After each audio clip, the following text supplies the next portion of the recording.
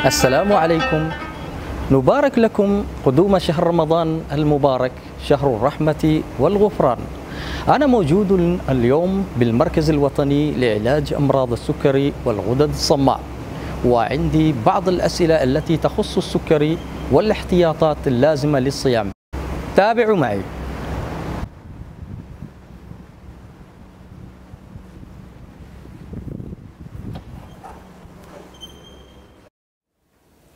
دكتورة هل يستطيع جميع المصابون بالسكري الصيام؟ أولاً نحن ننصح جميع المصابين بالسكري بزيارة الطبيب قبل شهر رمضان بمدة لا تقل عن شهرين لمناقشة هذا الموضوع وأخذ الفحوصات اللازمة. الطبيب يستخدم عدة مؤشرات تساعده في اتخاذ القرار المناسب وبناء عليها فهناك فئات محددة لا ننصحها بالصيام لما قد يترتب عليه من مضاعفات خطيرة على حياتهم. مثل مريض السكري من النوع الأول الذي يحتاج للأنسولين على مدار الساعة. كذلك المرأة الحامل المصابة بأي نوع من أنواع السكري. ومريض السكري من النوع الثاني الذي يستخدم الأنسولين وحدث له أعراض هبوط السكر في الدم خلال الأشهر الثلاثة الأخيرة قبل رمضان. ومريض السكري الذي لديه مضاعفات مزمنة أو أمراض مزمنة أخرى. والمريض الذي لا ينتبه لأعراض هبوط السكر بسبب اعتلالات عصبية. ومريض السكري الذي يتعرض لوعكة صحية حادة قد تتسبب في زيادة حموضة الدم الكيتونية. ويستطيع مريض السكري المعالج بالحمية أو دواء المتفورمين أو الأدوية المنظمة للسكر الصيام. إذا كان يتمتع بصحة جيدة وقام بضبط السكر لديه بشكل جيد منذ مدة طويلة. وبالنسبة لبعض المرضى قد تستدعي حالتهم وقف أو تغيير بعض الأدوية حتى يتمكنوا من الصيام بأمان. وأنصح مريض السكري الذي يرشده الطبيب إلى عدم الصيام أن يأخذ بالرخصة الشرعية ويمتنع عن الصيام وذلك حرصا على سلامته. رجل مريض بالسكري يشعر بدوار وتعب في بعض الأحيان آه، فلا يستطيع مواصلة الصيام. هل يصح له أن يفطر بناء على هذا؟ إن كان بلغ حدا لا يطيق معه الصيام بسبب مرضه فالمرض عذر. يبيح له الفطر ولا يلزم أن يبيت النية على الصحيح للفطر بسبب المرض. إذ قد يطرأ عليه المرض الذي يمنعه من مواصلة الصيام يجهده ويمكن أن يورثه الكثير من الأذى والضر فحينئذ لا حرج عليه في أن يفطر ثم يقضي صيام الأيام التي أفطرها في رمضان يقضيها من بعد حينما يمن الله تعالى عليه بالشفاء ويمكن له أن يفطر. طيب إذا كنت ممن يستطيع الصيام ماذا يتوجب عليه عمله في أول يوم؟ الهدف العام للطبيب هو مساعدتك على أن تتحكم بشكل جيد وآمن بمستوى السكر في الدم في نفس الوقت أن تستطيع الصيام بدون حصول هبوط خطير في مستوى السكر وبدون حصول جفاف في الجسم وبالنسبة لليوم الأول يجب على مريض السكري اتباع كافة الإرشادات التي تم الاتفاق عليها مع الطبيب ومثقفة السكري بخصوص الصوم. وتشمل التعديلات في الأدوية أو جرعاتها والالتزام بالتغذية المتوازنة قليلة الكربوهيدرات. والمعرفة التامة بأوقات أخذ قياسات السكر وأعراض هبوط السكر والاحتياطات اللازمة لذلك وتشمل الاستعداد النفسي والذهني الكامل لوقف الصيام وبشكل فوري عند الخطر وبالنسبة لأوقات أخذ قياسات السكر وبشكل مهم في الأسبوع الأول من الصيام فهي كما بالجدول الموضح للمريض وإذا كنت تستخدم الأنسولين هل أستطيع الصيام؟ هناك فئات معينة تستخدم الأنسولين وتستطيع الصيام. فالمرضى الذين يأخذون الأنسولين الأساسي يستطيعون الصيام إذا ما كان مستوى السكر لديهم منضبط ولديهم الاستعداد لاتباع إرشادات الطبيب. وهناك بعض المرضى الذين يأخذون جرعات الأنسولين المتعددة والذين يتحكمون بالسكري بشكل جيد يستطيعون الصيام. إذا ما التزموا بتعليمات الطبيب ومثقفة السكري دكتورة هل هناك طريقة لتعديل العلاج سواء الحبوب أو الأنسولين ليتناسب مع أوقات الصيام؟ يستعين الطبيب بإطار عام لتعديل أوقات وجرعات الأدوية بما يتناسب مع حاجة كل مريض وبناء على حالته الصحية في الأشهر التي تسبق الصيام لذلك أؤكد على أنه يجب على كل مريض التواصل مع الطبيب ومثقفة السكري للاتفاق على التغيير المطلوب لنشرح مثالا لو فرضنا أن المريض يأخذ عشرين وحدة قياسية من الأنسولين طويل المفعول الجلارجين بين الساعة الثامنة والعاشرة مساء قبل رمضان ماذا يفعل؟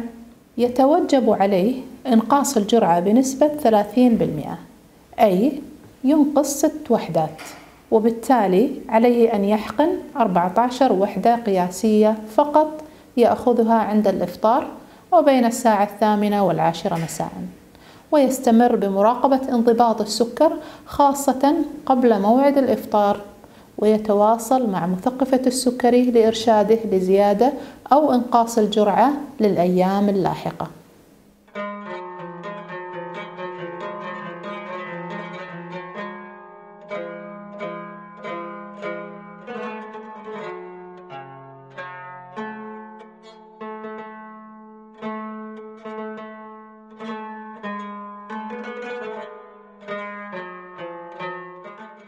هل هناك نصائح عندما نتناول الأطعمة وعند نمارس الرياضة في رمضان؟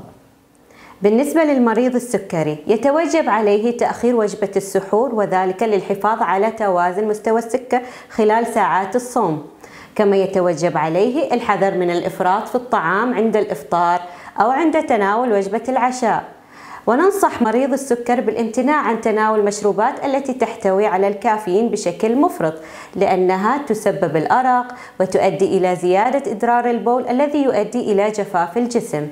وأما بالنسبة للنشاط البدني على مريض السكر تجنب الإجهاد البدني أثناء النهار ويكتفي في فترة ما بعد الإفطار بالمشي للمسجد أو للمسافات قريبة. ويعتبر المجهود الجسدي في أداء صلاة التراويح من الركوع والسجود جزء من النشاط البدني الموصي به وهو لمدة 30 دقيقة. كما يتوجب عليه الامتناع عن المجهود البدني في الساعات الأخيرة قبل الإفطار. كل هذه الاحتياطات مطلوبة لتجنب حصول هبوط في السكر سواء بالنهار أثناء الصيام أو بالليل أثناء وبعد أداء الصلاة. طيب كيف أراقب مستوى السكر عندي خلال الصوم؟ كما ذكرنا سابقا مريض السكر يتوجب عليه فحص مستوى السكر في الفترة ما قبل الظهيرة وفترة العصر وبشكل فوري ومتواصل عند الشعور بأعراض الارتفاع أو الانخفاض في مستوى السكر وإيش هي العلامات اللي تنبهني أن عندي هبوط في السكر؟ علامات انخفاض السكر متعددة ومنها الشعور بالدوخة وارتعاش الأطراف والتعرق والجوع الشديدين والشعور بالإرهاق وخفقان القلب والعصبية وفي بعض الأحيان قد يلاحظ المخالطون للمريض تغيير في السلوك أو تشوش الذهن أو ضعف الإبصار أو فقدان للوعي وما هو قياس السكر الذي يتوجب عنده آه، عدم إكمال الصوم؟ بشكل عام ننصح مرضى السكري التوقف فورا عن إكمال يوم الصيام إذا كانت قراءة السكر أقل من 70 ملغ لكل ديسيلتر أي 3.9 مليمول لكل لتر حتى وإن لم تبدأ بعد أعراض الهبوط لديهم طيب إذا ظهرت عندي الأعراض أو وجدت قياس السكر أقل من 3.9 مليمول لكل لتر ماذا أفعل؟ تتوقف عن الصوم فورا وتطبق قاعدة 15 جرام أي تتناول نصف كوب عصير أو ثلاث تمرات أو ما يعادلها من الكربوهيدرات سريعة الامتصاص وتقيس السكر بعد ربع ساعة. إذا استمر السكر منخفضا تناول 15 جرام أخرى وأعد قياس السكر بعد 15 دقيقة. وإذا لم يرتفع القياس عندها خذ 15 جرام أخرى وتوجه لأقرب مؤسسة صحية. وبشكل عام على جميع مرضى السكري الذين يسمح لهم الطبيب بالصوم أن يحتفظوا بقطعة من الحلوى أو علبة عصير أو أقراص الجلوكوز في متناول أيديهم. وكذلك عند ذهابهم إلى المسجد لتأدية صلاة التراويح. وألا يترددوا في تناولها لعكس الهبوط في السكر بسرعة. وهل أستطيع وقف أخذ الأنسولين إذا كان يعرضني لمشاكل هبوط السكر؟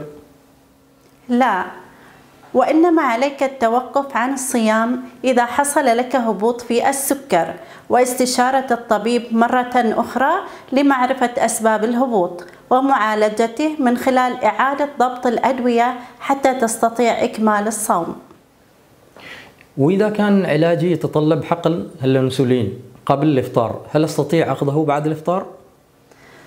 قد تتطلب خطة العلاج أخذ جرعات الأنسولين قبل الإفطار وهي مهمة جدا. لذا ننصح المريض بأخذها قبل الإفطار بحسب الوقت المحدد لكل نوع من أنواع الأنسولين لأن أخذها في غير وقتها الصحيح قد تتسبب في ارتفاع أو انخفاض في سكر الدم. وعلى أي حال فالرأي الشرعي موافق لذلك. وماذا بالنسبة للمريض اللي يستخدم مضخة الأنسولين؟ يتوجب عليه زيارة الطبيب والمثقفة الصحية ليتعرف على كيفية تغيير نمط الحقن للأنسولين الأساسي أو بيز الأنسولين وأن يتقن حساب جرعات الأنسولين السريع بناء على حساب الكربوهيدرات ومعامل حساسية الجسم للأنسولين هذا مع الالتزام بأخذ احتياطات التعامل مع هبوط السكر وتناول وجبات غذائية متزنة بكمية النشويات قدر الاستطاعة. أما بالنسبة للمريض الذي يستخدم المضخة منذ سنوات فعليه تطبيق ما تعلمه سابقا واتباع نظام غذائي صحي متزن في كمية النشويات قدر الإمكان مع أخذ احتياطات التعامل مع هبوط السكر. ماذا أفعل في أول أيام العيد؟ أعني بالنسبة للعلاج والوجبات. ابتداء من أول يوم عيد الفطر. يتوجب على مريض السكري العودة إلى جرعة العلاج السابقة التي كان يتناولها قبل رمضان أو قبل الصيام مع الالتزام بتناول الوجبات في أوقاتها التي اعتاد عليها وكان منضبطا على أساسها. دكتورة هل من نصيحة أخيرة؟